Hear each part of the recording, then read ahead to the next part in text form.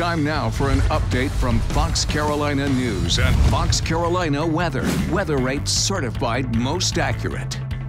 Good Monday afternoon. I'm Cody Alcorn. We're following several developing stories, including an earthquake that happened just a little while ago in the Midlands. Many people around the Columbia area and Kershaw County felt this uh, 2.7 or 2.5. It's in that neighborhood uh, quake that happened this afternoon. We're following that closely. Also, here at FoxCarolina.com, we are following a deadly officer involved shooting that happened last night in Simpsonville. Uh, you can see this picture here. We have circled the uh, window of this deputy's car that was shot up uh, during the shootout last last night. Uh, that suspect has been identified this afternoon as Matthew David Snyder, 38 years old. Again, this happened uh, last night.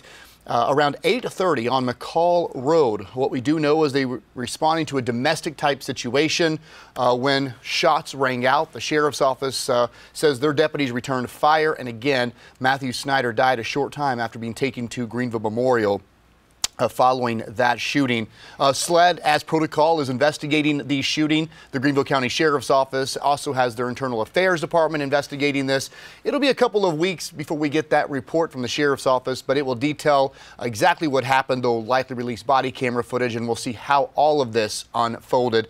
And as per uh, policy with the sheriff's office. The deputies involved in this shooting are on administrative leave until they are cleared internally uh, by the sheriff's office. Uh, the Clemson men's basketball game against Duke, that home game has been postponed. Just letting you know that in case you were planning to go check out that game, it is postponed tonight. And don't forget Powerball. You have just a few hours to get those tickets. You have to have them purchased just before 10 o'clock tonight.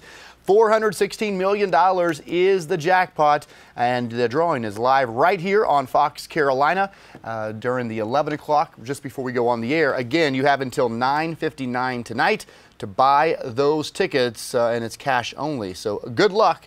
Uh, again, Powerball, $416 million. It is a warm start uh, to the week. We want to check in with Chief Meteorologist Kendra Kent.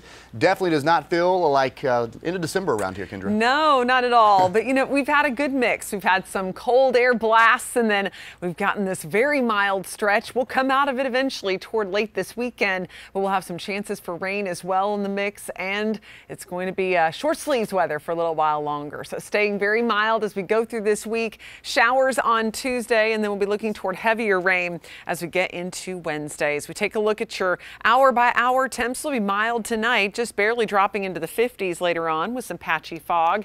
And in western North Carolina, we'll keep it mostly dry, but a few sprinkles possible, some patchy fog and temperatures dropping into the low 50s. And then looking ahead on Tuesday, it's going to be unseasonably warm again. In fact, 20 degrees above normal at 73 in the upstate. Of course, you'll want to check in with us on the 4, 5, and 6 o'clock newscast and again at 10 and 11. And be sure to download our Fox Carolina app as well as check us out on Facebook and our YouTube channel.